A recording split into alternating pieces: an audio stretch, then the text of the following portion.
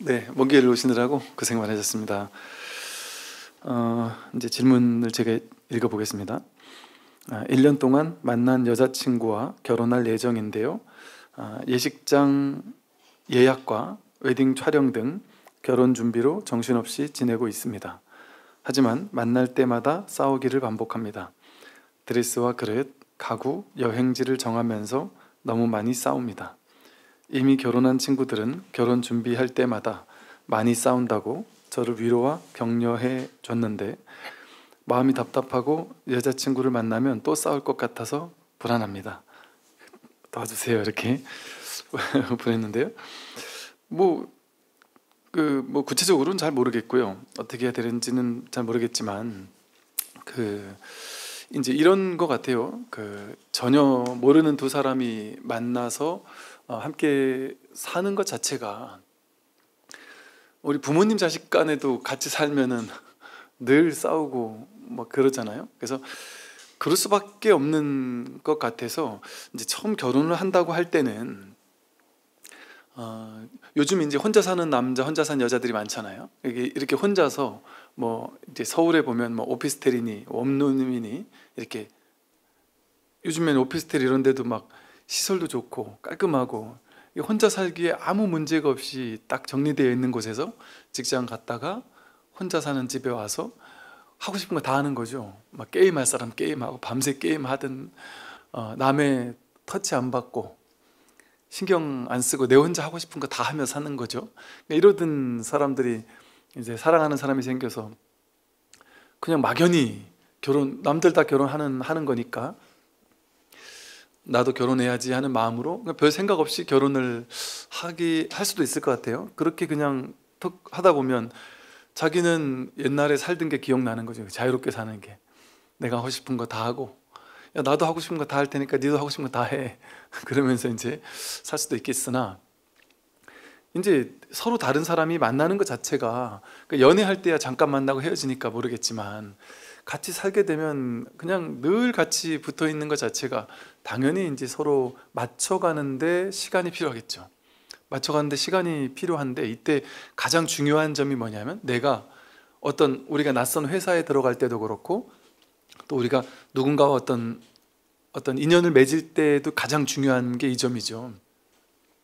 가장 중요한 거는 어, 내가 자기 생각이 있거든요. 나는 내 인생을 이렇게 살 거야.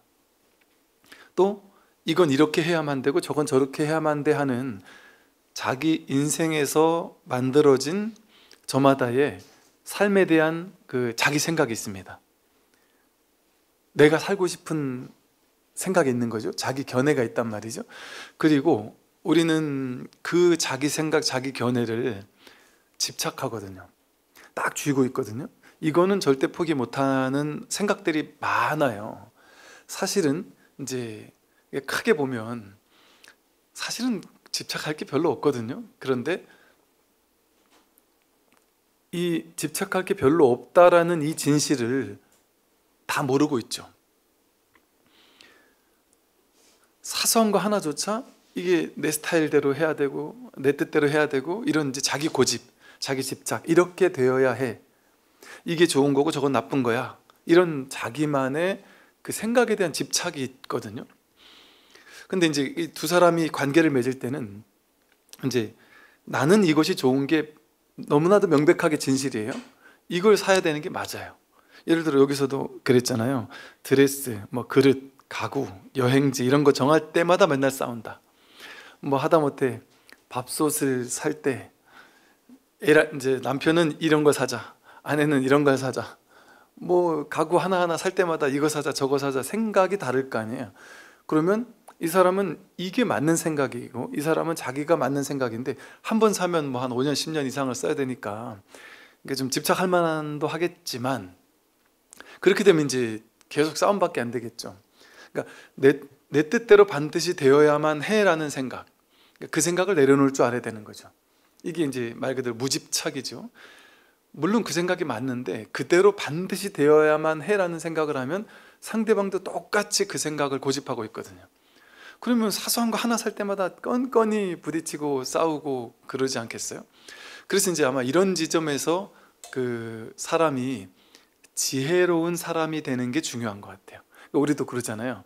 어, 남편감, 아내감을 데리고 온다 할 때 부모님들이 하는 말이 제일 중요한 게 지혜로운 사람을 데려와야 된다 이런 얘기를 하잖아요. 그 우리는 지혜로운 사람이 도대체 뭐지? 도대체 뭐가 지혜로운 사람인지 잘 모른단 말이에요. 그런데 지혜로운 사람은 똑똑한 사람이 지혜로운 사람인 것이 아니라 똑똑한 사람이 자기가 똑똑하기 때문에 많이 알기 때문에 똑똑한 거에 집착하기가 쉬워요. 왜냐하면 똑똑하면 내가 많이 알고 내가 아는 게 맞다라는 생각에 집착을 하거든요. 그러니까 똑똑하기만 한 사람은 명확히 어리석은 사람이기가 쉽습니다. 자기 똑똑함에 집착을 하게 됐을 때. 그런데 똑똑하면서도 내가 아는 건 많으면서도 자기 생각에 과도하게 집착하지 않는 사람이 있어요. 그러면 내 생각에 과도하게 집착하지 않게 되고 상대방의 견해에 마음을 여는 사람이 있단 말이죠. 아, 나는 이게 절대적으로 옳은데, 아, 저 사람은 저게 나랑 똑같이 옳을 수도 있구나. 그걸 아니까 내 생각만을 고집하지 않고 상대방을 향해서 마음을 열고 들어주는 거죠. 그래서 지혜로운 사람은 어떤 사람이냐면 똑똑한 사람이랑 전혀 상관없고요. 자기 생각에 집착하지 않는 사람이 지혜로운 사람입니다. 무엇을 하든 자기 생각에 과도하게 집착하지 않는 사람. 근데 과도하게 집착하지 않고 마음을 열고 있는 거죠. 그러면 어떤 결정을 내릴 때 나는 이런데 저 사람은 어떤 생각을 할지를 이제 진심으로 마음을 열고 묻게 되겠죠. 근데 이제 고집이 있는 사람, 집착하는 사람은 어떻게 묻냐 하면 묻는 건 형식이에요. 그냥 뭐 할래 이렇게 묻고 나서 어, 뭐 먹으러 갈래? 이게 형식적으로 묻긴 묻는데 짜장 이러면 아이 저 중국식은 조금 그런데 그러면 뭐 무슨 뭐, 뭐 매콤한 뭐, 뭐 뭐를 먹으러 갈까? 매콤한 건 조금 그렇고 그러면 어디 뭐 뭐뭐 뭐 국을 먹으러 가? 국 말고 뭐 결국에는 결국엔 자기 원하는 대로 하는 거죠. 자기 고집이 세면 묻는다고 하지만 결국에는 내가 뜻하는 대로 이렇게 하려는 그런 고집이 강하거든요. 이게 이제 그런 것 같아요. 이 이제 고집하지 않는다, 집착하지 않는다라는 이제 기본적인 지혜를 지혜가 있게 되면 이 집착하지 않는다라는 지혜가 뭐냐면요. 불교적으로 말하면 연기, 중도, 무아, 공을 깨닫는 데서 오는 지혜예요. 무슨 말이냐면 이 세상 모든 것은 인연 따라 모이고 흩어질 뿐이거든요. 맞다 틀리다, 옳다 그르다, 좋다 나쁘다라는 것도 인연 따라 임시로 그렇게 규정되는 거지 절대적으로 그런 게 없는 것이죠. 무상하게 변해가는 것뿐이기 때문에 고집할 게 아무것도 없단 말이에요. 공하단 말이죠. 이 세상 모든 것들은 공해서 이럴 수도 있고 저럴 수도 있어요.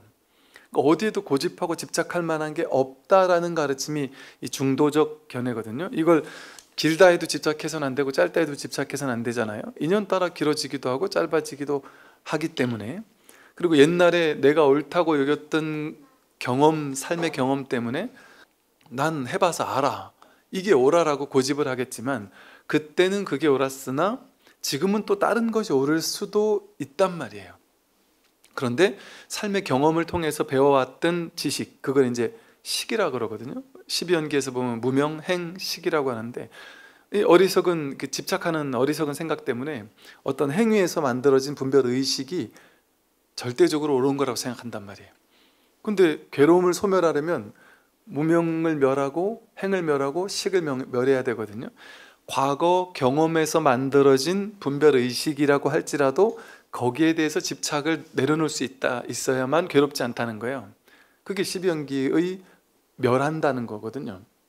이렇게 자기 고집을 탁 내려놓게 되면 어떤 말과 생각과 행동이 나오냐면 어, 사성제에서 말하는 팔정도 어, 정어, 정업, 정명 뭐 이렇게 말하듯이 바른 말, 바른 생각, 바른 행동이 나와요. 이게 바른 말, 바른 생각, 바른 행동이 뭐냐면 과도하게 집착하지 않는 데서 오는 언어가 있습니다. 과도하게 집착하면 자식에게 뭐 잘못했을 때 너 하지 말라 그랬지 하면서 화나는 말이 나와요. 그런데 아 그건 해도 되고 하지 않아도 되는데 안 하는 게 좋지. 그 과도한 집착이 없으면 과도한 언어가 나오지 않는 거죠. 상대방과 대화할 때도 절대적으로 내 생각이 옳다는 생각이 있으면 말도 좀 거칠게 나오거나 자기 주장을 세게 하기 쉽거든요. 근데 과도하게 집착하지 않고 무상공무하라는 것을 좀 아는 지혜가 있으면 저절로 정어가 나오는 거예요. 바른 말. 바른 말에는 애어라고 하듯이 사랑이 가득한 말. 그리고 그 말 자체에 고집이 없어요. 여러분 그 말투에 고집이 없는 말투가 있죠. 자기 생각에 대한 고집과 집착이 없을 때는 말투가 부드러워져요. 그리고 상대에 대한 배려가 녹아 있어요. 그 말투 속에. 그런데 반드시 이래야 된다, 반드시 저래야 된다라는 집착과 고집이 강할 때 그 말투부터가 세게 나오거든요. 특히나 이제 부부관계나 어, 자식들과도 마찬가지일 거예요. 어, 어느 정도 내, 내 과도한 집착, 심지어 나의 삶의 방식을 좀 바꾸는 한이 있더라도 그 집착을 좀 내려놓는 그래서 아무리 옳은 것도 과도하게 옳다라는 생각을 쥐고 있는 것이 어리석은 사람이에요. 그걸 좀 내려놓게 되면 좀 이제 이렇게 살아가는 데 있어서 좀 그래도 좀 맞춰가고 서로 이해하고 하는 데 있어서 좀 더 좋아지지 않을까 하는 생각을 해봅니다. 어, 그럼 오늘 이제 육주단경 어, 보겠습니다. 지난번에 102쪽이었는데요. 어, 이 개송을 설하시면서 그 이 개송은 돈교이며 물로 깨닫는 가르침이며 큰 진리의 배라고 부른다라고 했고요. 어리석게 들으면 몇 겁이 걸리겠지만 깨닫는다면 찰나 사이에 곧장 드러난다고 했습니다. 이 공부는 어리석게 들으면 법문을 1년, 2년, 3년 들었더라도 어리석게 들으면 몇 겁이 걸릴 수도 있다. 이 공부가 이제 그런 분들 계셔요. 본문을 듣긴 듣는데 어리석게 듣는 분들이 계세요. 그러면 뭐라 그래요? 몇 겁이 걸린다 그랬어요. 이 본문 듣는 자세가 정말 중요합니다. 어리석게 들으면 몇 겁이 걸려요. 그럼 뭐가 어리석게 듣는 것이냐? 아까 똑같아요. 자기 생각에 대한 이 본문 들을 때는 어떤 자세를 해야 되냐면 어, 첫째, 본문 들을 때는 내가 자기 생각, 자기 고집을 내려놓고 들어야 돼요. 저 스님이 하는 법문을 내가 내 식대로 해석해서 아 저건 맞고 저건 틀렸어. 저 스님 저 말은 내가 받아들이고 저 말은 안 받아들일 거야. 내가 소화 안 되니까 저건 틀렸고 내가 소화되는 거 저건 맞아. 우리는 전부 다 이렇게 들을 수밖에 없어요. 그러니까 보통 우리가 책을 한 권 읽잖아요. 그 책을 읽었다고 생각하잖아요. 사실은 책을 읽지 못합니다, 사람들은. 거의 책을 안, 못 읽는 것과 비슷해요. 무슨 말이냐면 책을 읽는데 이거를 자기 생각의 기준을 가지고 취사 선택해서 읽어요. 그러니까 내 생각과 맞다 싶은 것들은 맞아 맞아 맞아. 그리고 쏙 받아들이고 내 생각에 좀 아니다 싶은 것들은 이건 틀렸어 하고 이렇게 뇌에서부터 아예 걸러버리는 거예요. 이건 틀린 생각이다 하고. 그렇게 들으면 그 책이 의도하는 바에 대해서 완전히 흡수할 수 없겠죠. 또 내가 아무리 옳은 생각이라 할지라도 내 견해에 맞지 않으면 벽을 친단 말이에요. 그러면 그 책에서 얻을 수 있는 게 좀 줄어들겠죠.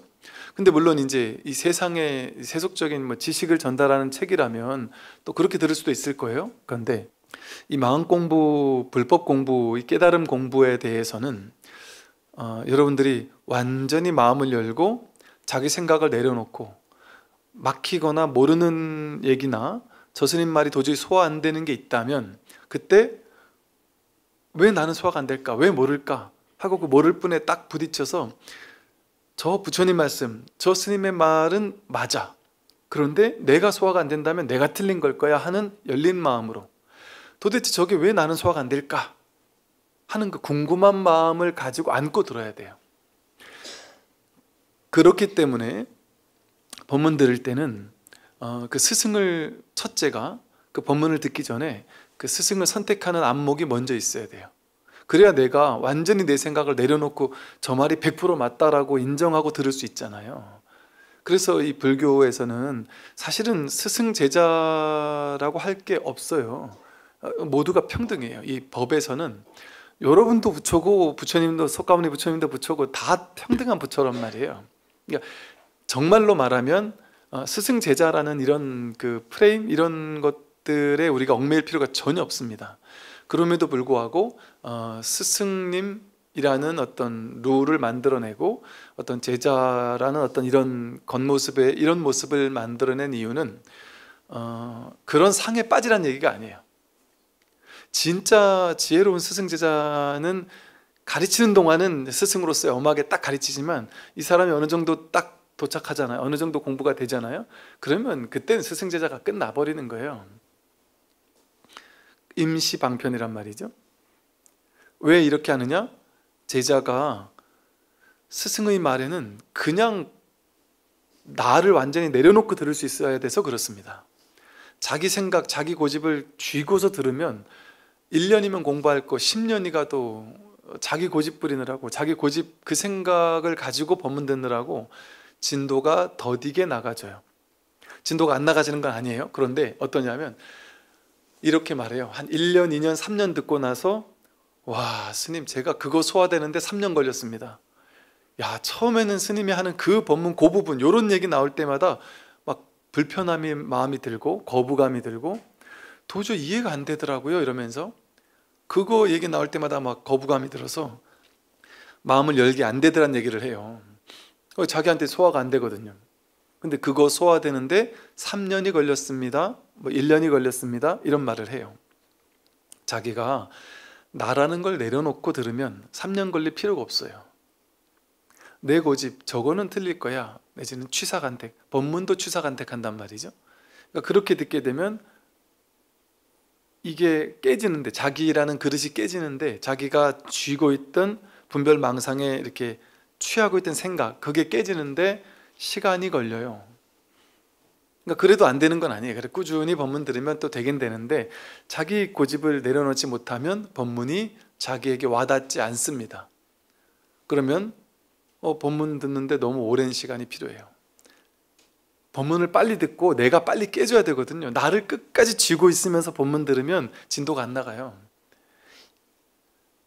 저 스님 저 말은 틀렸고 저 말은 맞아. 이렇게 들으면 내 공부 진도가 안 나가요. 물론 그렇다고 해서 어, 뭐 괜히 사이비 외도 같은 사람들의 말을 맹목적으로 들으면 안 되는 거죠. 그러니까 내가 정말 믿을 만한 사람 저 사람 말이라면 내가 아 믿을 수 있겠다 하는 사람을 먼저 선택하는 게 중요하고 선택했다면 일단 믿고 마음을 열고 들어야 돼요. 그러면 공부가 아주 빨라집니다. 자기 생각 가지고 이렇게 들으면 안 된다. 그래서 그게 어리석게 들으면 몇 겁이 걸린다 이 소리예요. 왜냐하면 자기 분별 의식 가지고 들으면 이 무분별지가 원래가 법문은 자기 생각으로는 소화 안 되는 걸 법문이라고 하는 거예요. 그 처음 법문 듣는 사람은 전부 다 소화가 안 돼요. 이해가 안 돼요. 그걸 듣는 거예요. 왜? 이것은 무분별지니까. 분별로 이해되지 않는 얘기를 하고 있는 거란 말이에요. 근데 어쩔 수 없이 여러분들을 이 공부에 좀 가까이 오게 하기 위해서 이해되도록 좀 논리적으로 우리 기존 분별심도 이해될 수 있는 방향에서 이해되는 쪽으로 이제 설명은 하고 있지만 그건 방편이에요. 사실은 이해될 수 없는 얘기예요. 그러니까 이해되지 않는 부분이 나올 때 거기서 이해되지 않는 채콱 막혀 있어야지 왜 나는 모를까? 왜 난 이해가 안 될까? 저 말은 옳을 건데 부처님 말씀이고 선사스님들의 말이었으면 그 말씀은 옳을 거야. 내가 틀린 걸 거야. 내가 부족해서 이해가 안 되는 걸 거야. 이렇게 인정하고 들어가서 들어야 돼요. 그러면 머지않아 자기가 깨져 나가요. 자기가 고집 부리던 분별 망상이 깨져 나가요.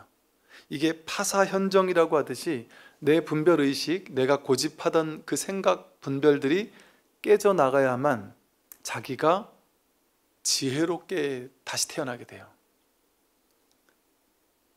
지혜롭게 자신의 어떤 망상들이 깨져나가게 돼요. 그래서 이 법문 들으러 오는 것은 내 생각이 옳았구나 이걸 확인해 확인받으러 오는 게 아니에요. 내 생각이라는 게 사라져야 돼요. 내가 옳다는 그 모든 생각이 싸그리 다 깨지기 위해서 오는 곳이 법문 들으러 오는 곳이에요. 절에서는 자기 생각 깨러 오는 거예요. 자기 고집 더 강화시키려 오는 게 아니고. 그래서 공부하면 공부할수록 더 멍청해지는 것 같이 느낌이 들 수도 있어요. 명쾌하게 이건 옳고 저건 틀려 이렇게 고집 부리지 않아요. 자기 생각에 대해서도. 그러니까 고집이 사라지니까 사람이 유연해지죠. 고집불통 같은 생각이 사라지죠. 그러니까 마음을 열고 듣게 돼요. 모든 사람에 대한 이야기들도.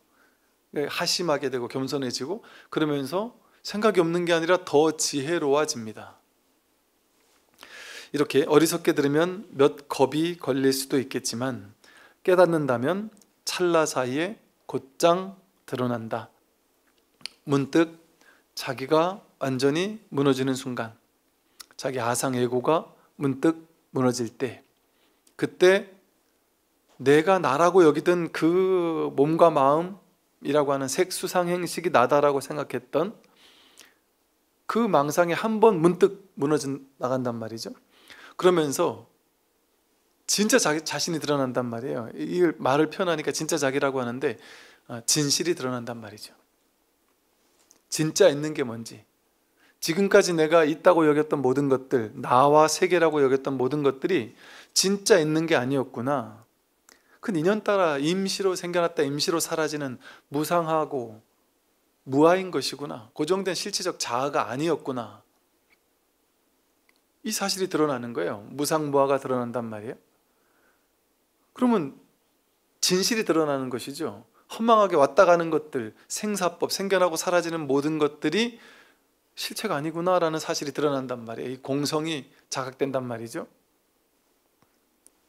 그러고 나면 어떤 일이 벌어지느냐? 이 몸과 마음, 나와 세계가 내가 아니다라는 생겨나고 사라지는 내가 보고 듣고 느끼고 알 수 있는 모든 대상들 내 몸을 포함해서 내 생각, 느낌, 감정, 내 성격, 개성 나와 세계 이 모든 것을 포함해서 내가 있다고 느꼈던 모든 것들이 정말로 있는 것이 아니었구나. 인연 따라 연기적으로 임시적으로 생겨나고 사라질 뿐인 것이구나 이걸 나라고 여기는 허망한 망상이 깨져나간단 말이에요 그러면 그 모든 것이 다 깨져나가는 것을 이제 우리가 정멸이다, 뭐 공하다 이렇게 설한단 말이에요. 그럼 공한 것을 깨달으니까 무상과 무아를 깨달으니까 아무것도 없습니까? 부처님께서 무아, 무상과 무아를 깨달았더니 해탈 열반의 자리에 이르렀더니 부처님이 사라지셨나요? 아니에요. 열반 해탈했다고 해서 그 죽는 게 아니에요. 부처님이 없어진 게 아니잖아요. 부처님이 아무 행동도 안 하신 게 아니잖아요. 내가 죽어 없어지는 게 아니에요. 완전히 내가 깨져나갔는데 그럼에도 불구하고 삶은 계속되죠. 인연은 계속됩니다. 즉 내가 있다고 여겼던 모든 것들 우리가 보통 이, 이 나 있음, I am, 뭐 I am that I am 이런 표현을 쓰잖아요. 진짜 자기가 누구냐 이거예요. 진짜 자기는 I am 있음이란 말이에요. 나 있음. 뭐가 있냔 말이에요. 진짜 있는 게 우리는 몸과 마음을 나라고 여겨서 내가 여기 이렇게 있지 이렇게 생각했잖아요. 이 몸과 마음이 있는 거라고 생각했단 말이에요. 근데 몸과 마음은 있는 게 아니에요. 인연 따라 임시로 생겼다 임시로 사라지는 거지. 근데 이 있, 있다고 여겼던 모든 것들이 다 무너진단 말이에요. 공으로 돌아간단 말이에요. 그런데 그때 문득 모든 것이 확 와락 무너졌는데도 불구하고 여전히 남아 있는 게 있어요. 있, 있는 게 있단 말이에요. 이 있음, 몸이 내가 아니고 느낌, 생각, 의지, 의식이 내가 아님에도 불구하고 이렇게 여전히 듣고 있어요? 듣는 무언가가 있죠? 듣잖아요. 우리는 생각을 따라가면 나가 있고 내 몸이 있고 눈, 귀, 코, 혀몸 뜻이 나에게 있어서 내 귀가 소리를 들었지라고 해석 분별하잖아요. 귀가 소리를 들었지라는 분별심 그게 18개의 분별이에요. 부처님은 나와 세계라고 여기는 모든 것은 눈깊고 혐음 뜻 육근과 색상의 미촉법 육경 거기에 대한 접촉에서 안식, 이식, 비식, 설식, 신식, 의식이 나타난다 해서 18개라는 게 나타나는데 그 18개가 공하다 이랬어요. 즉 18개가 나타나서 있다고 느껴지는 것 눈 깊고 헤멈듯이 색성의 미축법을 접촉할 때 촉식 있음이 등장한단 말이에요. 있다라는 망상이 일어난다는 거예요. 근데 그게 주관과 객관이라고 하는 18개가 연기작용을 일으켜서 있다라는 망상이 일어났다는 거예요. 그런데 그런 건 없다는 거죠 반야심경에서 무안이비설신의 무색성형 미촉법 무안계 내지 무의식계라고 하는 게 주관계와 객관계와 의식계라는 것이 인연 따라 있는 것처럼 드러났을 뿐이지 그건 있는 것이 아니라는 소리예요. 그게 다 없다는 거잖아요.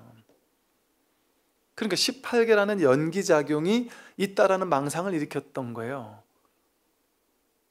그러니 내가 저 소리를 듣는다. 이게 18개잖아요 내가 저 소리를 듣고 듣는 의식이 일어나는 거예요. 저건 종소리구나 좋은 소리구나 나쁜 소리구나. 이게 18개라는 허망한 분별 망상이에요. 그러면 18개를 제거하면 어때요? 12연기에서 무명, 행식, 명색, 유깁 식, 명색, 유깁, 촉 이걸 다 제거해야 된다 그러잖아요. 그래야 괴로움이 사라진다 그런단 말이에요. 그 말이 무슨 말이냐면 내가 저 소리를 듣는다라는 내가도 분별이고 저 소리도 분별이고 듣는다도 분별이고 들으니까 어떤 소리가 생겨났다라는 그 분별 의식도 분별이란 말이에요. 그게 다 망상이라는 소리예요. 그럼 이걸 다 제거했어요? 나도 저 소리도 듣는다는 것도 듣는 분별도 사라졌는데도 불구하고 이건 여전히 있죠. 이 소리라고도 할 수 없어요. 소리라는 것도 언어라는 분별이잖아요. 근데 여러분 나와 세계가 없는 상황에서도 부처님에게도 이건 똑같이 있잖아요 이게 있는 거죠. 진짜 있는 거잖아요. 나와 세계가 사라져도 이건 있단 말이에요. 이건 있단 말이에요. 깨닫고 나도 배고프단 말이에요. 배고플 땐 밥 먹어야 된단 말이에요. 목마를 땐 물 마셔야 된단 말이에요. 이 소리 들린단 말이에요. 지금까지 여전히 할 건 다 한단 말이에요. 부처님이 열반하셨다고 해서 열반하니까 정멸이라고 하니까 부처님은 정멸로 돌아가셨구나. 그럼 부처님 돌아가셨습니까? 부처님이 사라졌습니까? 그게 아니란 말이에요. 부처님은 몸과 마음, 나와 세계라고 하는 이 가짜나 분별의식에 나와 세계라고 하는 18개의 분별의식의 자아를 소멸한 분이에요. 그랬더니 진짜 있는 게 뭔지 진실이 드러났단 말이에요. 진짜 있는 게 뭐냐? 이게 진짜 있는 거예요. 근데 우리는 보고 듣고 느끼고 아는 모든 것에서 우리는 다 분별하잖아요. 보자마자 분별하고 듣자마자 분별하고 느끼자마자 분별하고 알자마자 아는 대상을 분별하잖아요. 그 자기가 분별한 것을 알았다 이렇게 느낀단 말이에요. 근데 부처님은 있는 그대로를 있는 그대로 볼 뿐입니다. 분별은 다 하면서도 분별에 끌려가지 않는 거죠. 분별에 집착하지 않고 사로잡혀 있지 않는 거죠. 분별을 임시로 그냥 끌어다 쓸 수 있는 거예요 그냥. 분별인 줄 아는 채로 꿈인 줄 아는 채로 꿈속에서 재미나게 꿈속에서 놀이하듯이 사는 거죠 부처님은. 그러니까 괴로움이 없죠. 이게 꿈인 줄 아니까. 그러니까 우리는 보고 나서 저건 좋고 저건 싫고 좋은 건 집착해 가져야 돼 해서 막 집착을 하잖아요. 싫은 건 막 없애야 된다고 집착을 하잖아요. 부처님은 어떠겠어요? 볼 뿐 거기 있으니까. 그러나 분별은 해요. 그런데 분별하되 분별하, 분별함이 없이 분별하니까 보아서 좋은 거는 갖고 싶어요 부처님도. 그런데 열심히 가지려고 노력하는데 되면 좋고 안 되면 말고. 이게 다 허망한 망상이니까.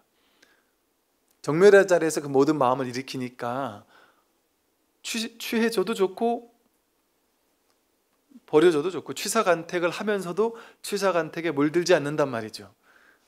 그러니까 그 아무 행위도 하지 않는 게 아니에요. 다 합니다.